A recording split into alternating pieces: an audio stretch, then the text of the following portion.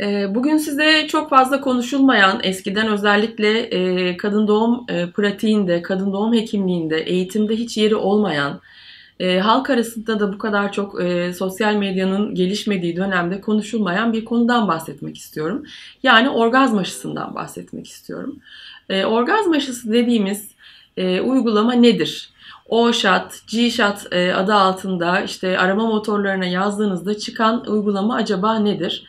E, ee, PRP dediğimiz hayatımızın neredeyse her aşamasında karşımıza artık çıkan e, dokuların yenilenmesinde özellikle bize e, inanılmaz büyük e, faydaları olan e, kendi kanımızın bir takım işlemlerden geçirildikten sonra istediğimiz bölgeye e, özellikle plazma e, kısmının enjekte edilmesiyle e, yapılan bir tedavidir.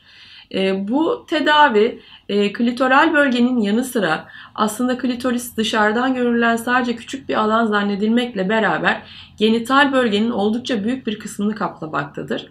Bizim de amacımız bu bölgedeki duyarlılığı artırmak, bu bölgedeki canlılığı, kan akışını artırmak ve doku yenilenmesini artırmak için bu bölgelere e, PRP tedavisi, bazen lazer eşliğinde beraber uyguladığımız bir tedaviyle bu bölgedeki dokunun e, canlılığını, e, bu bölgedeki sinir e, duyarlılığını artırarak ve aynı zamanda bu bölgeyi bir anlamda gençleştirerek e, cinsel hayatınızda bu şekilde katkıda bulunabiliyoruz.